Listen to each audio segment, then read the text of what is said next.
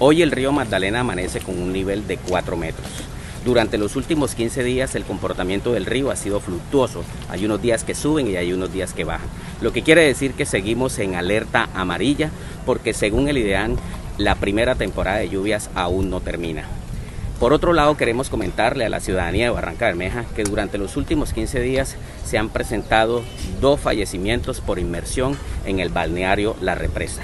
La invitación a toda la comunidad es que tomen todas las medidas de prevención en el momento de utilizar este balneario, invitar a los pescadores que realicen su pesca artesanal acompañado también invitar a las personas que por favor no lleguen en estado de embriaguez a este balneario para así de esa manera poder reducir este número de fallecimientos.